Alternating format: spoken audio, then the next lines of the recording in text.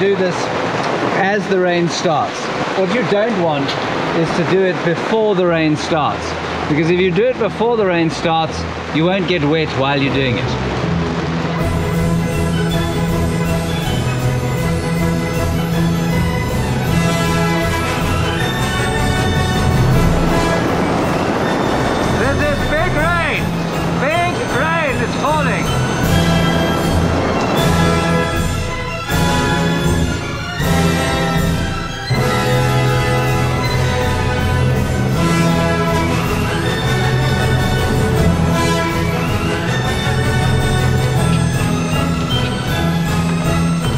We have decided to move camps. This will be our third campsite. The reason we're moving this camp is that this enormous camel thorn tree here uh, seems to gather water like a sponge. And although it sounds like it's raining, it's not. This is all water coming out of the tree.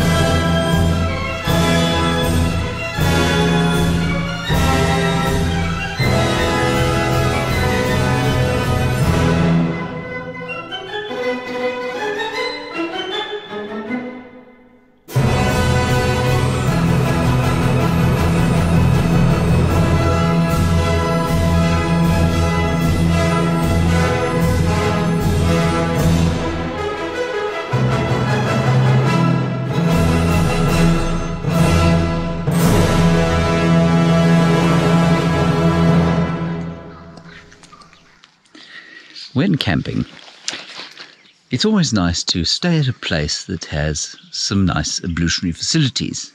Now, we are here on night three at our camp at Savuti, and I can tell you that these are some of the best ablutions in all of Botswana. Powerful elephant proof fence. A beautiful message written in stone. What does it say? Oh. Welcome, Savuti Camping.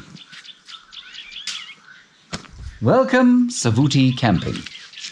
Welcome to Savuti Camping. There's a picture of Kirsten in 45 years' time on camp.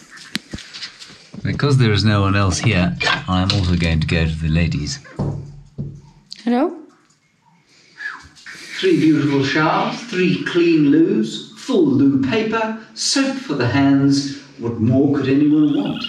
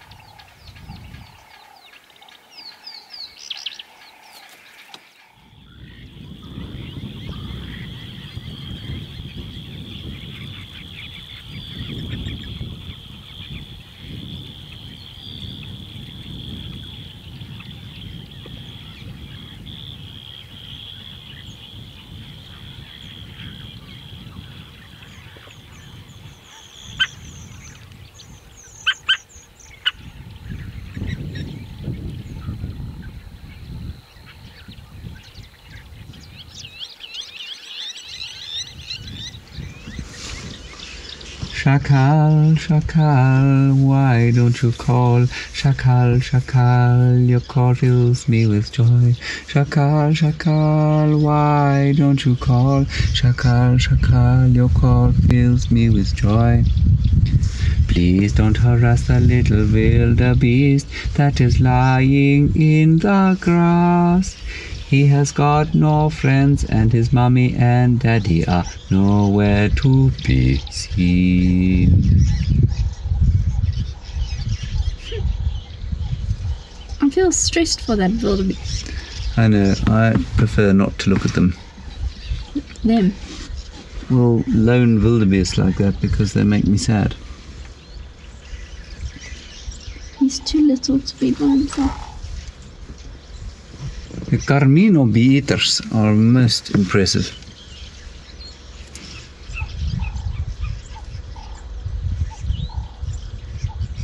Ah, thunder rumbling. This is a stretch point. You can get out the stretch here.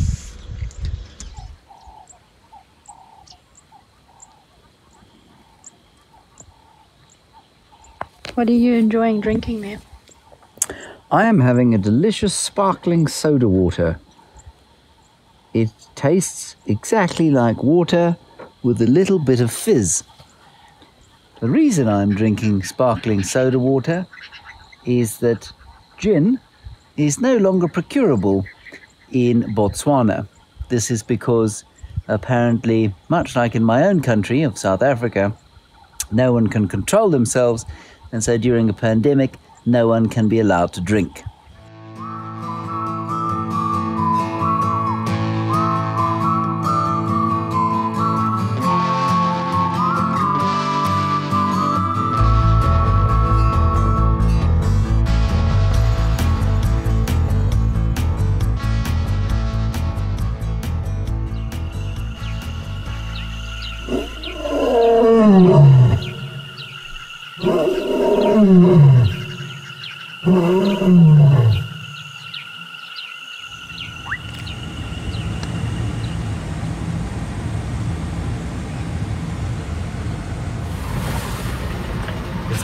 Light. It's, it's barely light. But we can hear lions calling in front of the camp, and so my wife has huffled, hustled me, huffled, I can't even speak, it's so early, hustled me out of camp in the semi dawn, and we're hopefully going to see our first Savuti lion. I think he's up here. He was up here.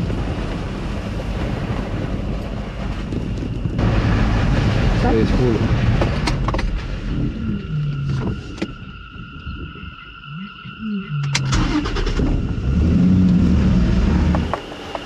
Is it a wildebeest or a lion?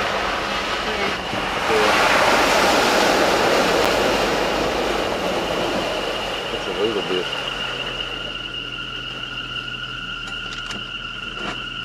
That lone wildebeest. Looking down. Baby. Yeah. Staring at the lion. There's the lion.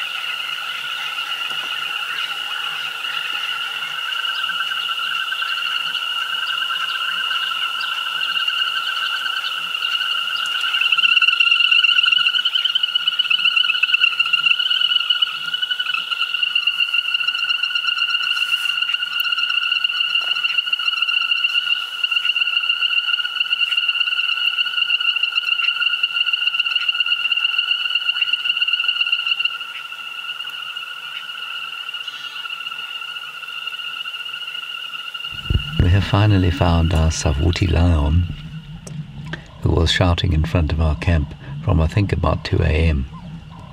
And we found him in these glorious clearings across here. And when we found him, there was a lone wildebeest also in attendance. And we were very worried about the baby wildebeest that we saw here on his own yesterday evening. And, uh, well, as the lion was shouting his last, so the baby wildebeest caught up with the lone adult wildebeest, and the two of them absconded at a great wildebeest pace. Do you think that's a male wildebeest the baby found? I think it is a bull wildebeest that the baby found, yes. But would the bull be accepting of a baby? Well, he didn't seem that charmed, but I mean, they'll make a little herd. Hmm. I don't think they'd be that offended by each other.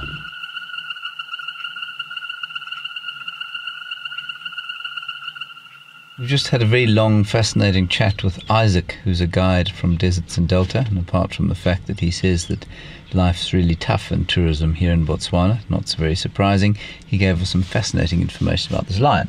This lion's name is Tsikedi, and Tsikedi is part of a coalition of three that dominates the northern reaches here of Savuti. Tsikedi is currently in a coma his belly is full, and so it's probably a meat coma. At least we got him walking and doing one little roar. But I think we'll probably leave him now and see what else we can find.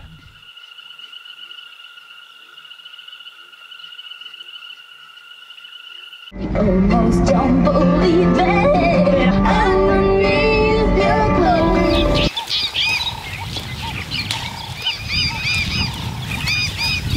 Back to check on our male line from this morning. And as we were about to get there, Kirsten said, There's a lion. And there is a lion. But she's not very happy because this lion is a youngster and he's on his own. Much like the young impala we've seen on their own, the young wildebeest that we've seen on its own. Which is by itself again. It's by itself again and it's coming this way. Hmm. And the big male is under that bush.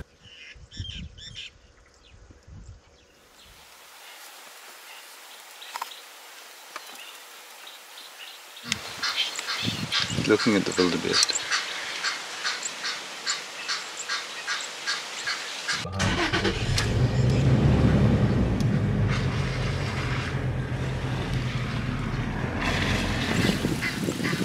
There's the lone Vildy all on his own.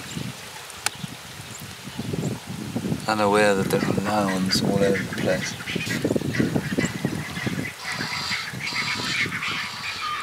Over there is a Kori bustard in the middle of his display. Now, unfortunately, he is very far away, and so his display might not be as bizarre as it could be closer up. But basically, what he's done is fluffed out his throat, so it looks like he's swallowed an enormous pumpkin maybe or butternut he looks like his neck looks like a swollen cotton candy ball and he's also doing his very unmelodic call which goes something like this um, um.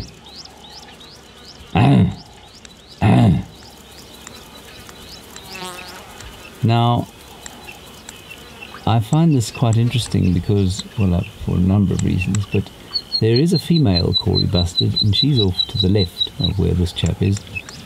She is facing in the opposite direction, has clearly got no interest whatsoever in this chap, and there he stands, the world's heaviest flying bird, and he looks like he swallowed a pufferfish. Here is an impala sleeping like a dog. We've come back to have a quick look for our lion. He is fast asleep, dead as lions normally are at quarter to twelve on a relatively hot afternoon. There's no sign of our baby wildebeest. There were a whole lot of marabou storks over in the middle of this clearing. We thought maybe they were eating his carcass, but I think they're after bullfrogs, of which there are many around this inundated vlei. And then our baby lion cub, who was all on his own this morning, also appears to have disappeared. Appears to have disappeared. Uh, we don't know to where he has gone. And there is some impala lying very restfully where we found him this morning. So, that's all very interesting. We're now going to leave Savuti and head for the Chobe Riverfront, Camp Ihaha.